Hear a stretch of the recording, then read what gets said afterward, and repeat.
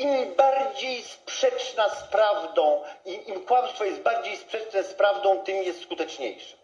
Tym jest skuteczniejsze. Ono nie może być bliskie prawdy, ono musi być skrajnie, brutalnie przeciwne prawdy. Jeżeli komuś ktoś coś ukradł, to ma powiedzieć, że jest odwrotnie.